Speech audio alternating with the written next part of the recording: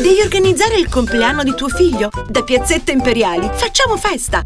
Piazzetta Imperiali, con la sala feste per bambini, la più bella animazione e il baby parking, organizza nel modo più bello ed allegro la festa del tuo bambino e la domenica mattina la colazione più originale che c'è, con le mascotte preferite dei piccoli.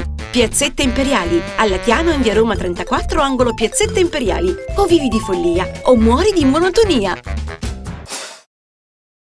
La nostra eh, provincia eh, vive e rivive la passione di eh, Gesù Cristo eh, nei vari eh, comuni, nelle varie eh, realtà, con una passione, con un sentimento religioso, con delle tradizioni popolari davvero toccanti e quindi partiamo da Lizzano, dalla 47esima edizione della passione di Gesù Cristo.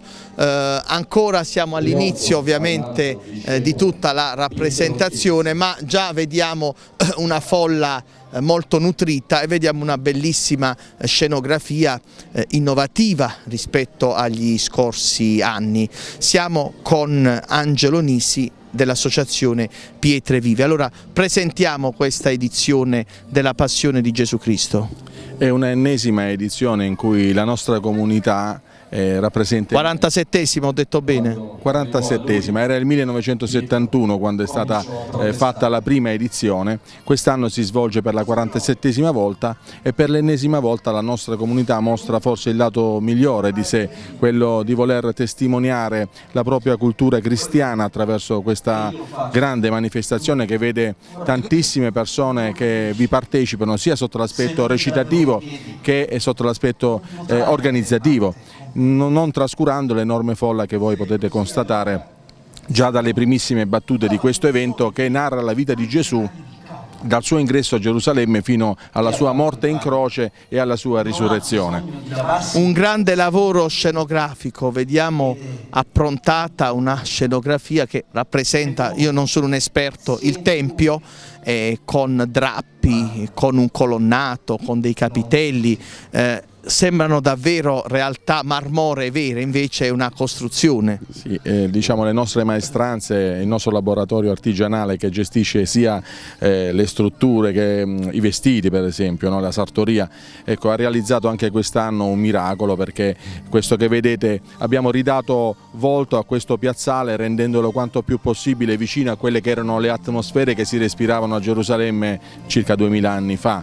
Il convento poi ci ospita da tanto tempo tempo e qui disponiamo veramente della massima libertà nel poterci esprimere senza nessun tipo di condizionamento, come lo è stato da quando c'erano i frati che ci hanno insegnato che con il sacrificio e con l'umiltà si possono realizzare grandi obiettivi.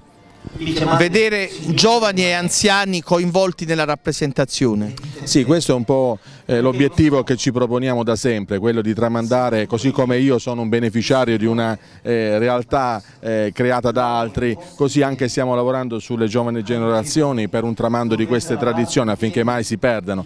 Teniamo presente che questa comunità dall'inizio mm, del secolo, dello scorso secolo, rappresenta la passione di Cristo, prima con forma teatrale e magari nella lingua del posto, quindi in dialetto diciamo noi, poi si è eh, tramutata con l'avvio dell'associazione Pietre Vive in una forma quanto più spettacolare possibile, non trascurando però quello che è l'evento fondamentale che è la preghiera collettiva, quella che si sente, si respira stando in questi posti. I giovani sono la nostra attenzione principale perché proprio domenica scorsa abbiamo realizzato la passione con gli adolescenti, mentre invece fra due domeniche realizzeremo un'altra passione con, a livello musicale con i giovani eh, di Pietre Preziose che hanno realizzato un musical sulla vita di Gesù, sugli ultimi periodi della vita di Gesù.